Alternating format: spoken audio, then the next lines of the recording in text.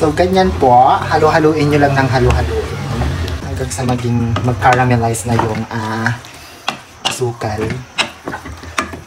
At magiging bukayo na siya. Medyo kulang ng water sa roses.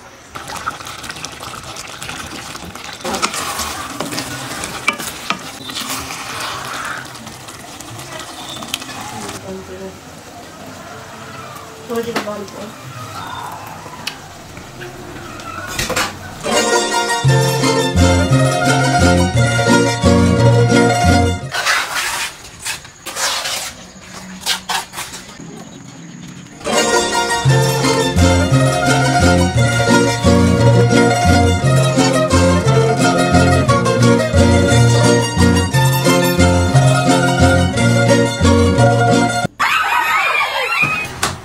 mandam muito